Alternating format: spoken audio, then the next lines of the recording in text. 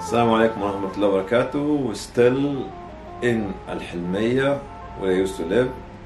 I'm still at the age of under 10 at that time, and we used to have weekly activities, one of which is the Friday football match between two teams. One of them called Al Fanagil, which are the people who support Al Ahli Football Club, and the second one is Darwish, which are the people support Zamalek Football Club. I was the goalkeeper of uh, Al Fanagil uh, team, and used to put these stones in the middle of the road, and everybody uh, used to watch girls, men, women, uh, the competition between Al Fanagil football uh, team and Al Darawish football team, and we used to play with this kind of uh,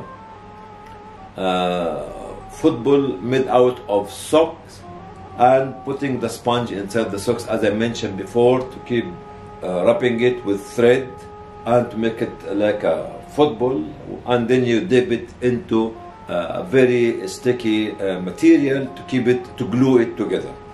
And uh, while we were playing, uh, we were playing at that time, I was trying to make a show of jumping into the air to fall down, but actually they scored the goal against me, and I have to act that I'm injured, and so on, so on, so on. So this was weekly match where every youngster used to come and watch uh, the competition between the two teams. The second one is we thought to get outside of Hilmiya and go to South Cairo in a place called Helwan to see the, Japanese uh, park in, in Helwan area. It's about nearly 20, uh, 20 kilometers from Cairo. This was a big journey and big, big adventure for all of us as young people under the age of 10 to take the, uh, not underground, the, the train from uh, Bab al Luq or from the center of Cairo to go to uh, uh, uh, the Japanese uh, garden in Helwan and come back in the evening, tell everybody about our adventure and what we have seen. Those Japanese statues here, the big and the small, and, and the fat and the skinny one. This is the second activity to do. The third one, I was a member of the scout group because at that time I had uh, uh, uh, acquired poliomyelitis and my mother was pushing me to do a lot of sports activity and with going to the camps of the Uh, scouts camps with the cups and with the, with the people there as well as to play sports and play uh, uh, football. This is number three activity. Number four activity which was very very important it was not an activity it was a kind of the growing uh, uh, values at the back of the mind of the young boy at my age, which is dignity and manhood, to protect the dignity of uh, the girls who are our neighbors.